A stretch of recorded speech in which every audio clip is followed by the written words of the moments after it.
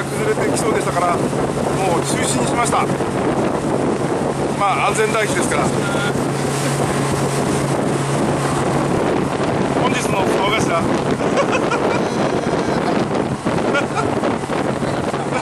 それそれ違いますから。